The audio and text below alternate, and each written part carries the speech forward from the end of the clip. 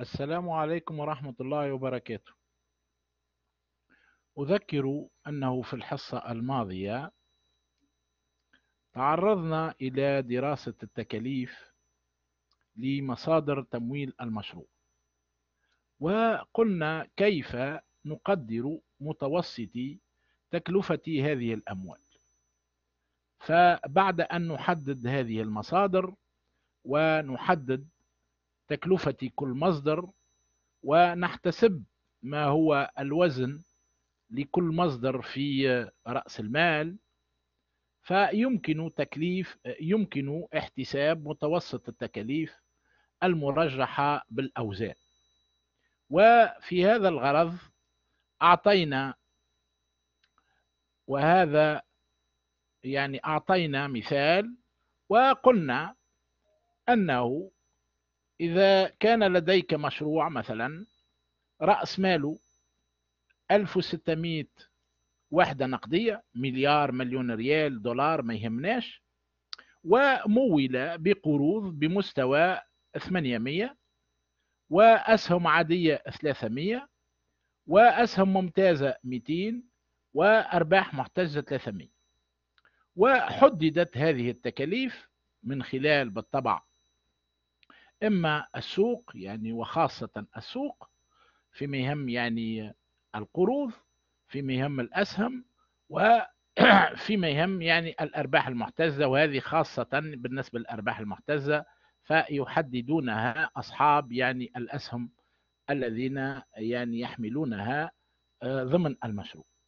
فلو افترضنا أن تكلفة القروض هي 14% وتكلفة الأسهم العادية 13% الأسهم الممتازة 10% والأرباح المحتزة 5% فكيف أقدر التكلفة المتوسطة لهذا المشروع؟ إذا قلنا لابد أن نحتسب الأوزان نحدد يعني تكلفة الأموال المرجحة بالأوزان ثم بعد ذلك نحتسب متوسط تكلفة الأموال لكل المشروع.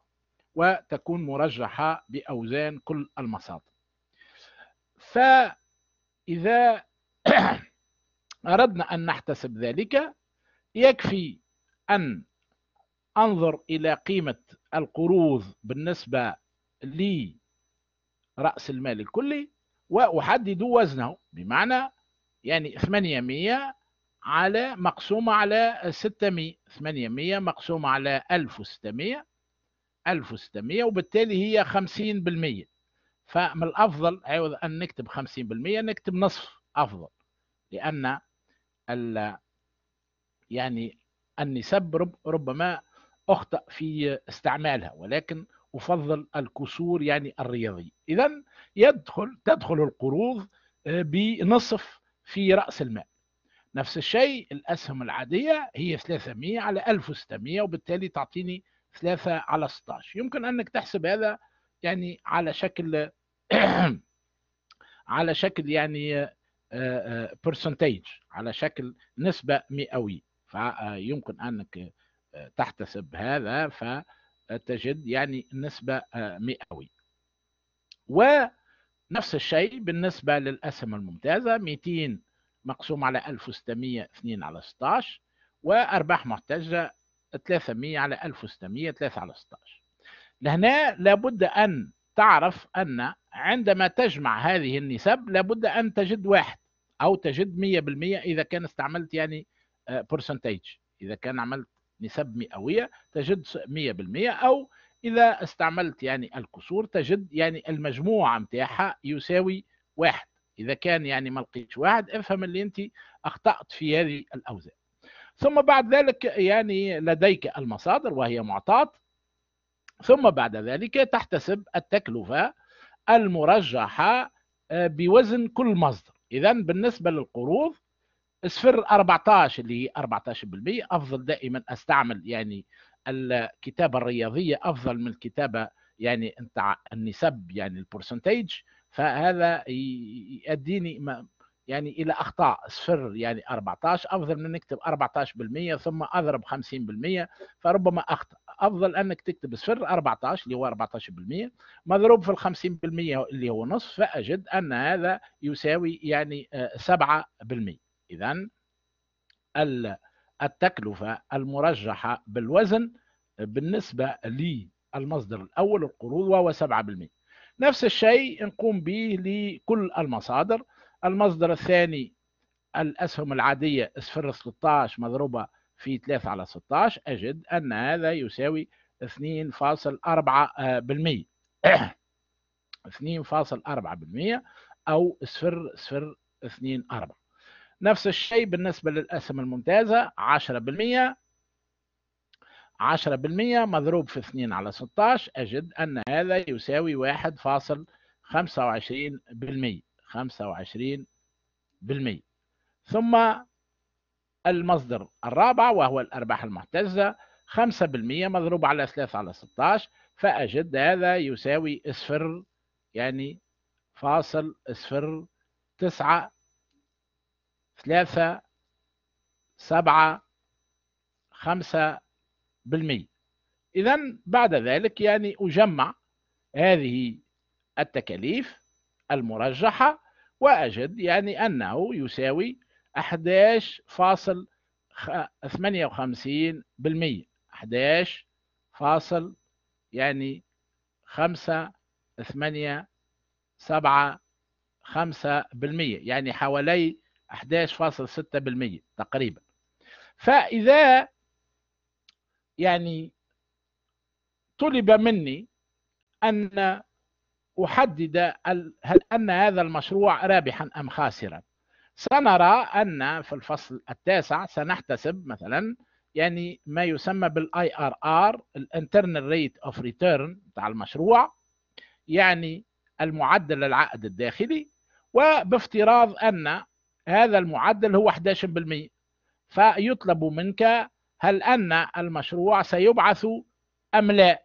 بالطبع لهنا التكلفة هي 11.58% وبالتالي التكلفة يعني الكوستس أكبر من من العائد من ال internal rate of return ال internal rate of return وبالتالي المشروع خاسر وإذا قيل لك مثلا أن هذا المشروع كان معدل الربح نتاعو أو المعدل الداخلي نتاعو هو 12% فبالطبع تقول أن المشروع مربح لأن 12% أكبر من 11.58% اذا عندما تحتسب التكلفة المتوسطة فعليك أن تنتبه إلى ترجيح يعني التكاليف لكل مصدر باوزانها وأن لا تخطئ في احتساب هذه الأوزان. بالطبع يمكن أن نعقد الأمور في هذه في هذا المجال ولكن سوف لن أدخل في هذه الحيثيات. بالطبع يعني يمكن أن يعطيك بيانات يعني منقوصة وعليك أن يعني تضيف هذه المعلومات المنقوصة. مثلا افترض أنه لهنا يعني لم يعطيك يعني 300 لم يعطيك 300 يعني هي غير موجودة. ولكن أعطاك النسبة يعطيك يعني الوزن النسبي أوكي؟ فأنت باحتساب 800 مع 200 مع 300 يساوي يعني 1300 بالطبع 1600 ناقص 1300 فتعطيك 300 وتضرب ذلك في النسبة. وهلم جر وبالتالي يعني يمكن أن نقيم العديد من التمارين من خلال هذا التمرين ولكن لا أريد أن أعقد الأمور يكفي أن يعرف الطالب كيف يحتسب هذا هذه التكلفة المتوسطة. اذا في طلبة يسألون مين البيانات؟ بالطبع البيانات عندما تعطى أنت آه، تمرين يعني آه، هذا يعني المعطيات تكون لديك أوكي؟ يعني تكون لديك ويكفي أن تعرف كيف تحتسب. اذا هذا بعجالة ما أردت أن أقوله حول الفصل الخامس. نمر إذا إلى آه، الفصل السادس. نمر إذا إلى الفصل السابع وهو يهم البداية أو مدخل إذا أردتم إلى دراسة المعايير ويهم أساسا يعني كيف نحتسب التدفقات النقدية وكيف للنقود يعني قيمة زمنية. وكيف يمكن أن أرتب هذه المشاريع من خلال هذه القيمة الحالية لمبالغ مستقبلية؟ إذا أنتم يعني درستم في المقررات الأخرى بعض من هذه المعايير وهذه المعايير تعتبر جزئية. مثلا لما يعني درستم درستم في مقرر اقتصاد الجزئي نظرية المنتج فتقولون أن المنتج لا يمكن له أن يدمج عنصرا من عناصر الإنتاج إلا عندما تكون تكلفته الحدية تساوي يعني إنتاجه الحدي. مثلا يعني عندي مشروع يشغل آه، يعني آه، العمل ورأس المال لا يمكن أن أدخل يعني في المنظومة متاع الإنتاج متاعي إلا عندما يأتي هذا العامل يعني من إنتاجية ما يقابل تكلفته وتكلفته هو يعني الأجر. وبالتالي لابد أن تتساوى ال marginal productivity يعني الإنتاجية الحدية. شنو هي الإنتاجية الحدية؟ هي التغير نتاع الإنتاج التغير نتاع الإنتاج ال production عندما يتغير يعني عدد العمل بواحد. عندما أدمج عاملا لابد أن تتساوى إنتاجيته الحدية مع تكلفته. نفس الشيء بالنسبة لرأس المال لابد أن تتساوى يعني إنتاجاته الحدية مع آه، يعني آه، سعره وهو سعر الفائدة إذا هذه المعايير التي تعرضتم إليها تعتبر يعني معايير جزئية. ولكن ما سنراه اليوم يعني أو مدخل لهذه المعايير وتسمى بمعايير شاملة. وهذه المعايير سنراها في الفصل يعني الثامن والتاسع والعاشر وهلم جر وتم أساسا يعني صافي القيمة الحالية net present value. كذلك يعني العائد الداخلي للمشروع internal rate of return. وكذلك سنرى ما نسميه بفترة الاسترداد أو payback period. فكل هذه المعايير تعتبر معايير شاملة. ولكن كي نفهم ذلك لابد أن أن نكون قادرين على احتساب ما يسمى بالتدفقات النقدية أو ما تعبرون عنه بالإنجليزية بال cash flow of the project ونحن تعرضنا في الفصل يعني الخامس إلى التكاليف آه، التي يعني تهم المشروع. ففي المنطق الاقتصادي عندما نتحدث على يعني مداخيل المشروع نتحدث على الإيرادات receipts ولكن في منطق المحاسبة نتحدث على نفقات نقدية داخلة وبالتالي نحسبها موجبة. اذا يعني ما هو داخل يحسب موجب وهي عبارة على الإيرادات. كذلك يعني لما نتحدث في المنطق الاقتصادي نتحدث على التكاليف أو الإنفاقات expenditure or costs. ولكن عندما نتحدث في المنطق المحاسبتي نتحدث على تدفقات نقدية خارجة وبالتالي تحسب سالبة وبالطبع إذا كان لدي يعني تدفقات نقدية داخلة وتدفقات نقدية خارجة فيمكن أن أحتسب يعني الصافي وهي يعني الداخلة ناقصة الخارج. وبالطبع كما سبق وقلنا أن هذه الإنفاقات يعني تهم أساسا الإنفاقات الاستثمارية ورأينا أن هذه الإنفاقات الاستثمارية يمكن أن نقسمها إلى تك... إلى استثمارات ثابتة ملموسة أو غير ملموسة وإنفاقات تشغيلية لاحقة وهذه يعني آه، آه، تعتبر تدفقات نقدية سنوية جارية يعني وخارجة. فبالتالي لابد على يعني آه، دارس المشروع أن يعرف ما هي ما هو تدفق وما هو ليس بتدفق. فمثلا عندما يعني يكون لديك اهتلاك في رأس المال أو إهلاك في رأس المال ف انتبه هذا لا يحتسب كتدفق لماذا؟ لأنك قد احتسبته في التدفقات الاستثمارية. نفس الشيء عندما يكون لديك يعني قروض وستسدد الفوائد عليها فهذه الفوائد على القروض لا تعتبر تدفقات لأنك قد احتسبتها في آه، يعني التكاليف الاستثمارية. وهذه التكاليف الاستثمارية يعني آه، آه، يعني احتسبت تدفقات. فكي نتجنب وهذه أمور محاسبة فكي نتجنب يعني احتساب شيئا ما مرتين لابد أن نعي هل هو تدفق أم هو يعني تكاليف ثابتة.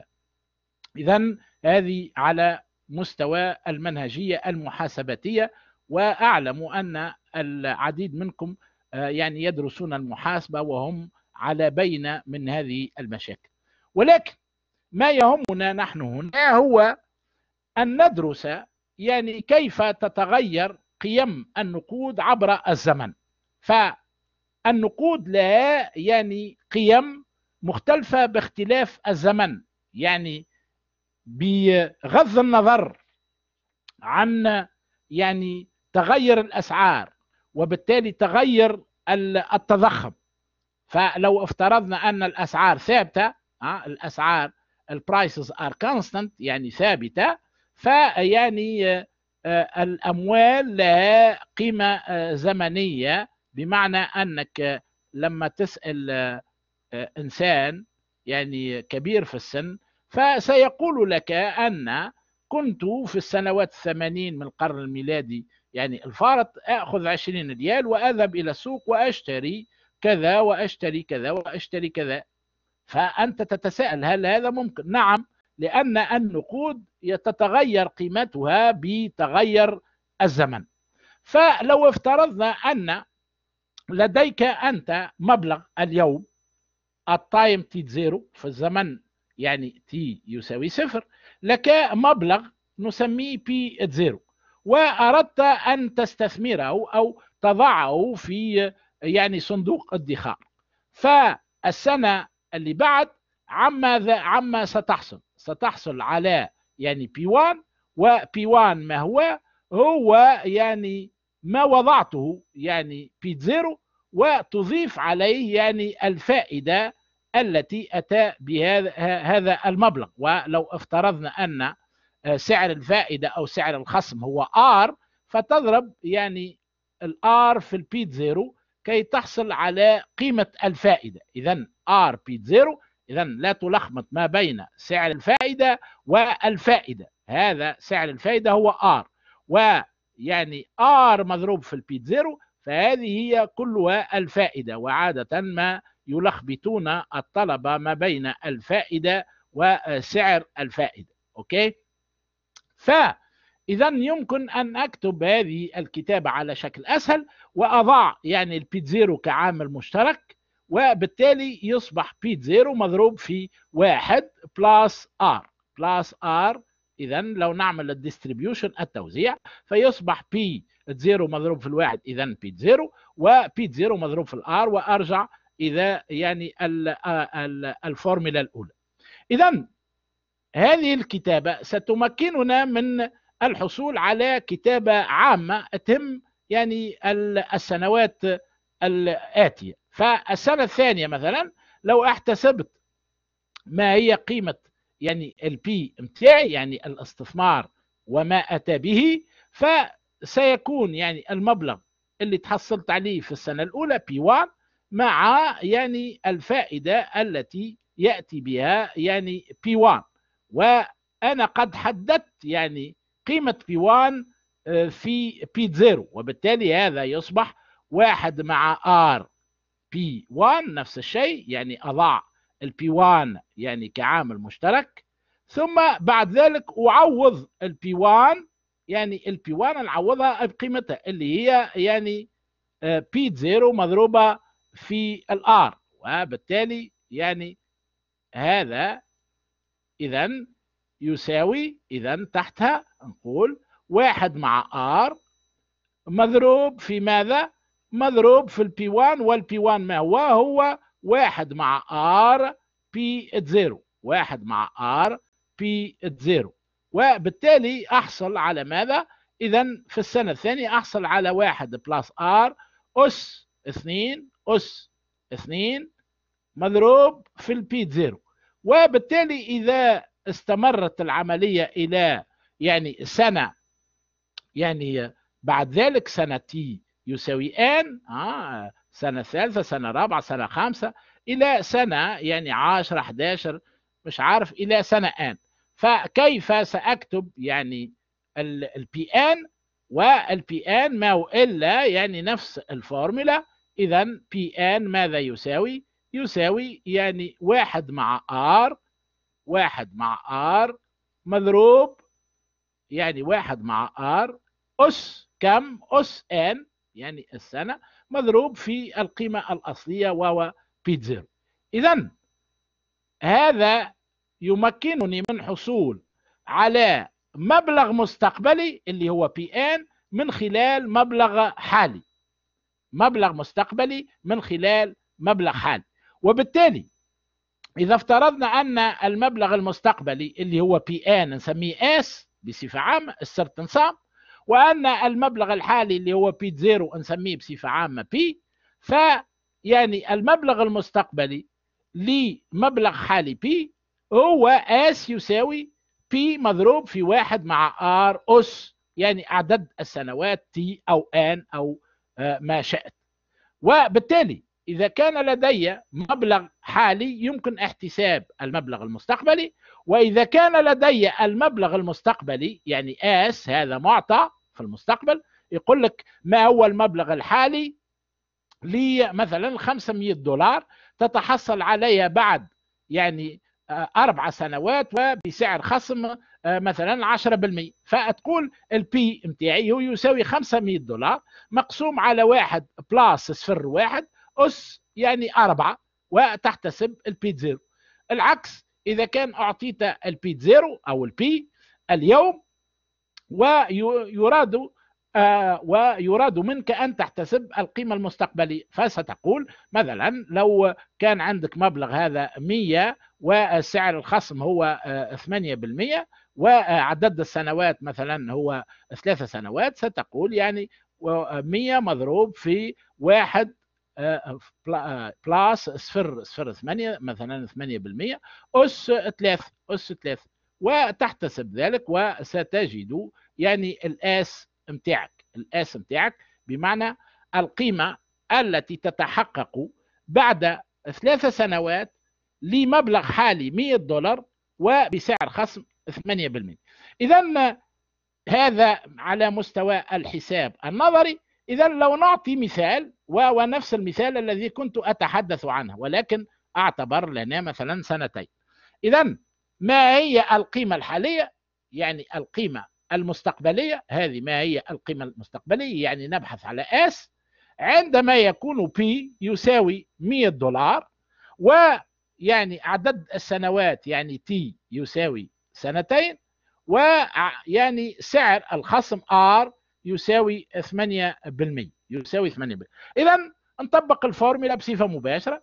S يساوي P مع مضروب في واحد مع R أس T إذا يساوي 100 مضروب في واحد plus صفر صفر 8 أس 2 المشكل هو أن لابد أن لا أخطئ في هذا الحساب. عندما أستعمل الحاسبة لابد أن لا أخطئ. وسنرى كيف سنستعمل جداول تمكن من هذا الحساب بصفة بصفة سهلة إذا إذا كان لدي المبلغ الحالي يمكن أن أحتسب المبلغ المستقبلي. ولكن كيف أقرأه؟ إذا آس يساوي 116.64 مثلا دولار. هذا أقرأه؟ ونقول إذا القيمة المستقبلية القيمة المستقبلية لمبلغ حالي يساوي 100 دولار يتحقق بعد سنتين وبمعدل خصم أو سعر خصم 8% هو 116.64 إذا أعيد المبلغ المبلغ المستقبلي الذي يتحقق بعد سنتين هنا ويعني لمبلغ حالي 100 دولار وبسعر خصم 8% هو 116.64% لو ناخذ مثال آخر ويطلب منك أوجد القيمة المستقبلية آس لمبلغ حالي ناخذ دائما أرقام سهلة 100 ويتحقق بعد سنتين سنتين وعشرة بالمئة إذا نضرب يعني واحد فاصل واحد عشرة بالمئة هو صفر واحد أس يعني اثنين. وأحتسب هذا بالحاسبة وسأجد أنه يساوي مثلا 121 دولار في هذه الحالة. وبالتالي المبلغ المستقبلي لمبلغ حالي يساوي 100 دولار يتحقق بعد سنتين وبسعر خصم يساوي 10% هو 121 دولار. وقلنا أنه إذا كان لدي المبلغ الحالي يمكن تحديد مبلغ مستقبلي ولكن يمكن أن يكون لدي المبلغ المستقبلي وأحدد المبلغ الحالي. فالمثال الثالث هو يهم هذه الوضعية. فنفترض أنه قيل لك الخ ما هو واضح. الخط ما هو واضح. إيه حاول باش يعني تركز. إذا قلنا افترض أن لديك يعني قيمة مستقبلية آس تساوي يعني 100 وطلب منك أن تحدد القيمة الحالية لهذا المبلغ المستقبلي بعد خمس سنوات الذي يتحقق بعد خمس سنوات وبسعر خصم مثلا 6% نفس الشيء يعني أطبق الفورمولا بتاعي. القيمة الحالية هي القيمة المستقبلية. S مقسومة على واحد يعني plus صفر صفر ستة أس خمسة وأحتسب هذا بالحاسبة okay؟ وأضرب في المية فأجد أن هذا يساوي 74.7% بمعنى أن القيمة الحالية لمبلغ مستقبلي يتحقق بعد خمس سنوات وبسعر خصم 6% هو يعني 74.7%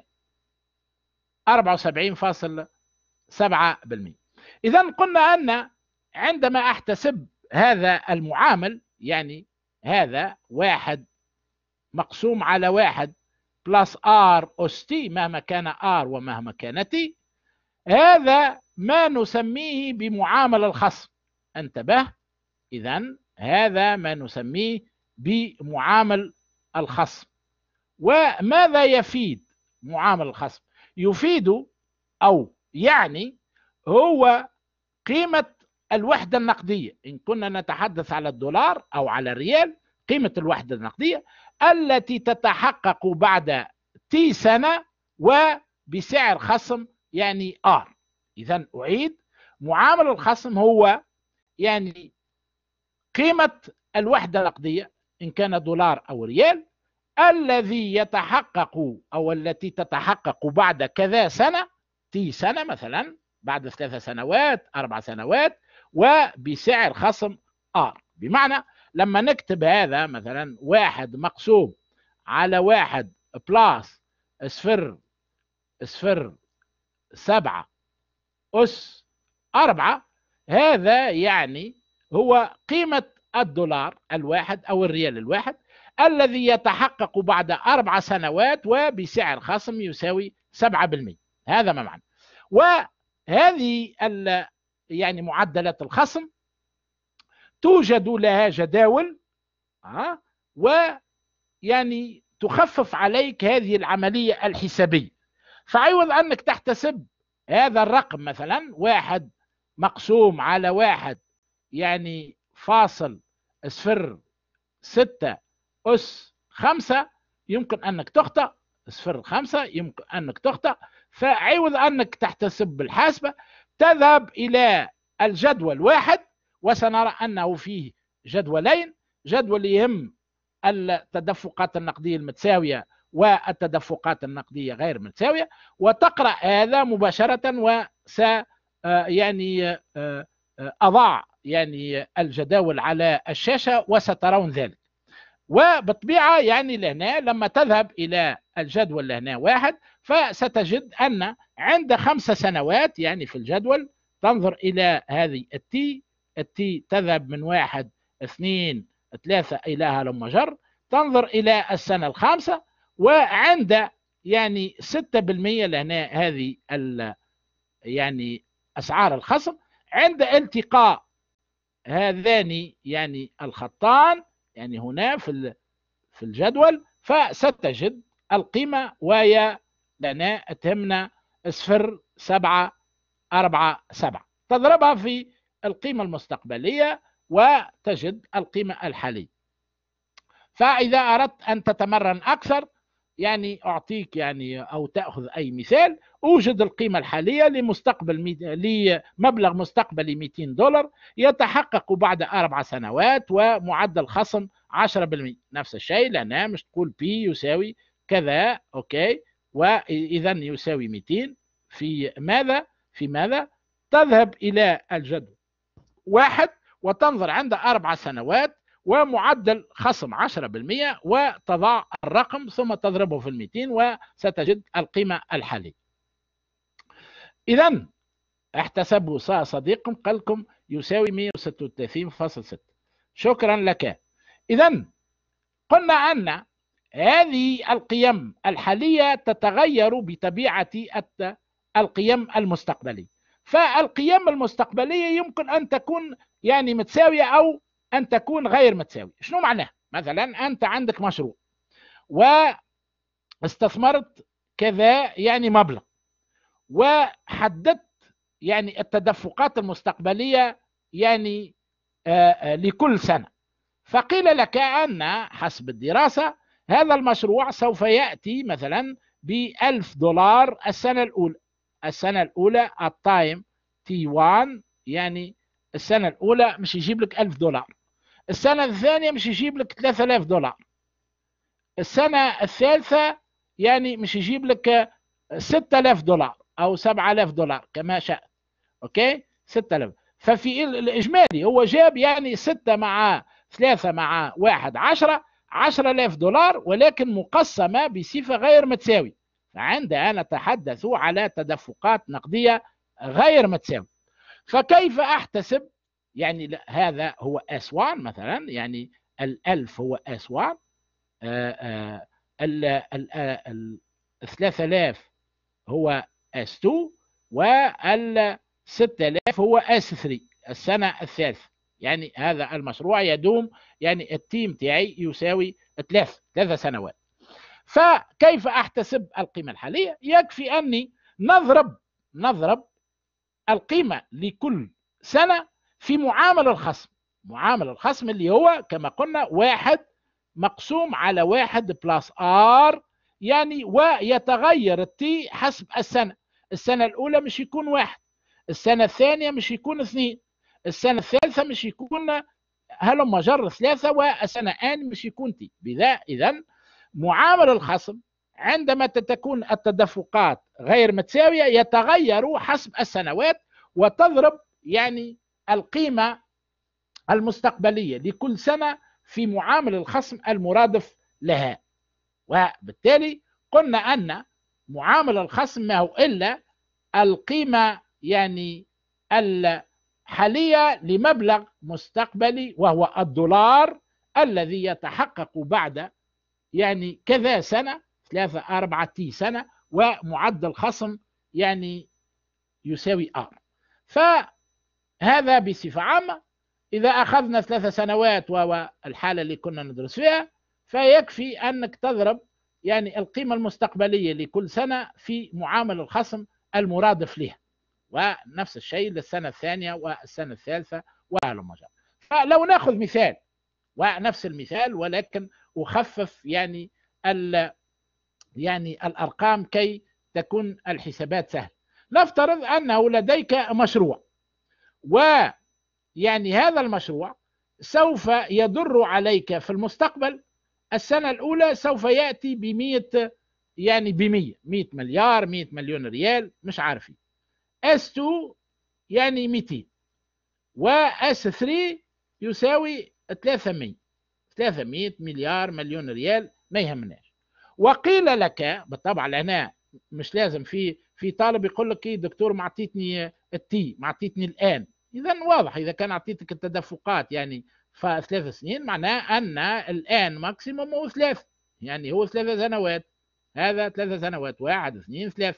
وأعطيت يعني سعر الخصم وقيل لك أنه 8% من يكتب على السبورة الله يخليه الله يهديه. ما يكتب على السبورة لأنه يلخبط على زملائه ولا يمكن له المتابعة. أوكي؟ من يكتب هنا يعني هذا كتبه أحد أصدقائكم هذا كتبه أحد أصدقائكم وهو يشوش عليكم. فالله يخليكم ما تلتجئون إلى هذه الأساليب الصبيانية. إذا قلت أن إذا كان لديك مشروع وكانت تدفقاته غير متساوية بهذا الشكل وسعر الخصم 8% فيمكن لي أن أحتسب القيمة الحالية. أطبق الفورمولا شنو ال P هي S1 مضروبة في معامل الخصم للسنة الأولى. S2 مضروبة في معامل الخصم للسنة. انتبهوا لأن نقول مضروب في معامل الخصم لأن معامل الخصم هو واحد مقسوم على واحد plus R أس تي أس تي وتي يتغير حسب الزمن. واحد اثنين ثلاثة. لذلك لا أقول أقسم على معامل الخصم أضرب في معامل الخصم. وبالتالي نعوض كل يعني قيمة بقيمتها الآس 1 يساوي 100 الآس 2 يساوي 200 والآس 3 يساوي 300 نضرب في معامل الخصم يعني المرادف لكل سنة. إذا قلت أن عوض أني أحتسب هذا بالحاسبة أقرأ في الجدول واحد. أقرأ هذا عندما تكون أعيد. عندما تكون التدفقات غير متساوية معامل الخصم نقرأه في الجدول واحد. إذا كي يعني أعطيكم الجدول واحد أمامكم هنا وناخذ المثال. هذا هو الجدول. إذا يعطيك لاحظ يعطيك على يعني هنا يعطيك السنوات هذا يعطيك السنوات واحد اثنين ثلاثة أربعة خمسة ستة سبعة ثمانية ثم يواصل. ويعطي على الخط الأول يعطيك سعر الفائدة. فمثلا لو قيل لك ما هو يعني هذا هو الجدول واحد انتبه هذا الجدول واحد وهذا هو الجدول اثنين سنرى يعني هذا عندما تكون التدفقات متساوية. إذا إذا كانت كانت التدفقات غير متساوية نذهب إلى الجدول واحد. مثلا في هذا المثال ننظر إلى 8% والسنة الأولى. السنة الأولى معامل الخصم هو 0.926 السنة الثانية ننظر إذا يساوي 0.8757 ولما جر مثلا لو كان عندك أنت العمر يعني الإنتاجي متاع المشروع متاعك يذهب إلى خمس سنوات مثلا ولديك آس 5 يعني آس 5 وتريد أن تضرب يعني القيمة متاع السنة الخامسة بمعامل الخصم مثلا ناخذ آه، يعني معامل خص... آه، سعر خصم آخر يعني مثلا نقول 10 10% فتذهب هنا وتجد أن معامل الخصم هو 0.621 إذا نرجع إلى السلايد و يعني نعود إلى حساباتنا. أوكي. نعود إلى حساباتنا. وقلت أن يعني يكفي أن أذهب إلى يعني الجدول واحد لهنا وأقرأ قيمة معامل الخصم. السنة الأولى 8% يعطيني 0.926 وكنا نشوفه فيه. نضربه في المية. ثم بعد ذلك السنة الثانية 0.857 نضربه في 200 وهذا مجر وأجد نفس إذا كان ما أخطأت بالاستعمال الحاسبة لهنا نجد نفس القيمة. نفس القيمة. واضح؟ وبالتالي عوض أنك تستعمل الحاسبة وتتعب نفسك فمن الأفضل أنك تستعمل يعني الجدول واحد. ولكن عندما تكون التدفقات يعني متساوية فعندي هذه الحالة لا أستعمل يعني معامل الخصم الذي كنا نتحدث عليه وهو واحد مقسوم على واحد plus R أس T وإنما أستعمل معامل خصم آخر وهو هذا هو معامل الخصم عندما تكون التدفقات متساوية وهو يساوي واحد على R مضروب في واحد ناقص واحد مقسوم على واحد plus R أس T عبارة أن نقول هو واحد على R مضروب يعني نفتح القوس واحد ناقص معامل الخصم عندما تكون التدفقات غير متساوية. ولكن لا, لا, لا يجوز. نقول أن هذا هو معامل الخصم عندما تكون التدفقات متساوية. ويعني نفس الشيء. هو يعني يعني قيمة الدولار الواحد الذي يتحقق بعد تي سنة وبمعدل خصم R ولكن عندما تكون التدفقات متساوية. انتبه عندما لا تضيف كلمة متساوية أو غير متساوية يعني يعني آآ آآ يكون الإجابة خاطئة. إذا عندما تكون التدفقات غير متساوية غير متساوية يعني غير متساوية نستعمل الجدول واحد. نستعمل الجدول واحد. عندما تكون متساوية عندما تكون متساوية نستعمل الجدول اثنين. ونأخذ مثال رقمي ونستعمل الجدول اثنين ونحدد يعني معامل الخصم. إذا نفترض أنه يعني أعطيت يعني القيمة المستقبلية اللي هي آس وآس هذه يعني تتحقق لمدة خمس سنوات. بمعنى S1 يساوي S2 يساوي S3 يساوي S4 وهلم جر إلى خمس سنوات. إذا افترض أوجد قال لك القيمة الحالية لمبلغ S يساوي 100 يتحقق سنويا لمدة خمس سنوات وبمعدل 10% إذا لهنا أستعمل الجدول اثنين كيف ذلك؟ إذا نقول أن ال P متاعي يساوي ماذا؟ يساوي 100 مضروب يعني في ماذا؟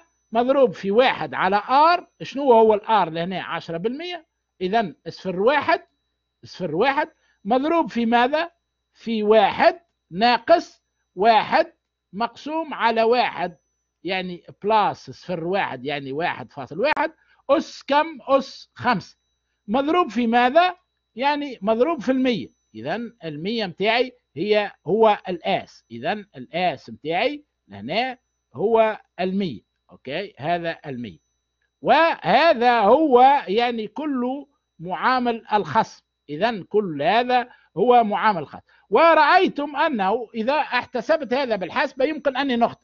لذلك أذهب إلى الجدول الاثنين وأقرأ هذا مباشرة.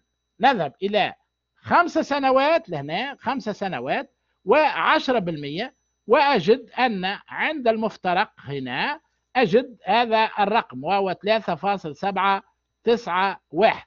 إذا أضرب المية في ثلاثة سبعة تسعة واحد ويعني أجد ما هي القيمة الحالية لمبلغ مستقبلي 100 دولار يتحقق كل سنة لمدة خمس سنوات. وكي نفهم أكثر يمكن أني نستعمل يعني نفس الشيء في تمرين واحد. افترض أنك يعني أعطيت مشروع وأعطيت ثلاثة مشاريع. مشروع أول نسميه يعني 1 مشروع 1 والقيمة الحالية متاعه نسميها بي 1 مشروع هذا الثاني نسميه الثالث يعني نغير لأن هذا يعني والثالث نسميه الثاني okay؟ هذا نسميه P 2 وهذا نسميه P 3 okay؟ 3 project والمشروع الأول بالطبيعه يدوم ثلاث سنوات والمشاريع كلها تدوم ثلاث سنوات. ومعدل الخصم أو آه، معدل الخصم أو سعر الفائده هو 10% والمشروع الثاني كذلك تدفقاته غير متساوية. ولكن مختلفه الأول يجيب لي السنة الأولى يعني S 1 1000 السنة الثانية يجيب لي 3000 السنة الثالثة يجيب لي 5000 والمشروع الثاني يجيب لي 5000 السنة الأولى 3000 السنة الثانية والسنة الثالثة يجيب لي 1000 والمشروع الثالث يجيب لي 3000 يعني S 1 يساوي S 2 ويساوي S 3 يعني فقط الله يخليكم. يعني آه، آه، دقيقتين وأنهي المحاضرة كي ننهي هذا المثال. كيف أقارن ما بين هذه المشاريع من خلال احتساب القيمة الحالية لهذه المشروع؟ يطبق نطبق الفورمولا. اذا أحتسب ال P 1 كما احتسبته للمشاريع اللي تكون يعني تدفقاتها غير متساوية. اذا لهنا نرجع إلى الجدول واحد جدول واحد. والسنة الأولى أقرأ يعني المعاملة الخاصة. السنة الثانية نقرأ معامل خصم والسنة الثالثة نقرأ. وأضرب كل معامل خصم في يعني قيمة الآس المرادفة مثلا هذا آس 1 هذا آس 2 وهلم مجر وأجد أن هذا المشروع له قيمة حالية تساوي 7142 المشروع الثاني اللي هو يعني تدفقاته غير متساوي انتبه غيرنا يعني ترتيب المشاريع فهذا المشروع يعني 5000 السنة الأولى 3000 السنة الثانية و1000 السنة نفس الشيء نرجع إلى جدول واحد. نفس الشيء جدول واحد لأن تدفقاته غير متساوية ونقرأ معامل الخصم هو لا يتغير لنا لأن نفس يعني السنوات ونفس يعني القيم نفس القيم. أوكي؟ وبالتالي لهنا يعني نضرب القيم S1 و S2 و S3 فيها وأجد أن القيمة الحالية تساوي 7774 بالنسبة للمشروع الثالث انتبه فالقيم غي فالقيم متساوية وبالتالي لابد أن نطبق الفورمولا الأخرى. والفورمولا الأخرى كما قلنا يعني ال S هي متساوية 3000 مهما كانت سنة نضربها في قيمة معامل الخصم عند الجدول اثنين. عند الجدول اثنين إذا استعملت الحاسبة فعليك أن لا تخطئ وإذا أردت أن لا تخطئ يعني أذهب إلى الجدول اثنين. عند مفترق يعني لهنا 10% وثلاث سنوات أجد القيمة وهي 2.487 اذا بعد ذلك أرتب نشوف أن هذا 7700 وهذا يعطيني 7400 وهذا يعطيني 7100 وبالتالي المشروع الثاني أفضل لأن القيمة الحالية نتاعه هي الاكبر لماذا؟ لأن المشروع الأول الثاني شوف يعني من 9000 كاملة يعني هو آه، ثلاثة مشاريع تجيب 9000 الأول يجيب 1000 و3000 و5000 اذا 9000 الثاني يجيب 5000 و3000 و1000 يعني 9000 والثالث يجيب 3 في 3000 9000 لكن المشروع الثاني في السنة الأولى يجيب لي أكثر من 5 50% من التدفقات نتاعو.